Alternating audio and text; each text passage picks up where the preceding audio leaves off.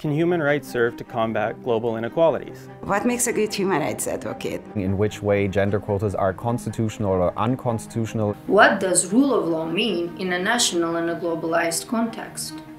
What is the future of mediation in the international business law context? How can we enforce human rights in a different context? Questions of race discrimination in sports, which instruments actually uh, uh, fight discrimination. Why is comparative constitutional law more relevant than ever? Apply to CEU.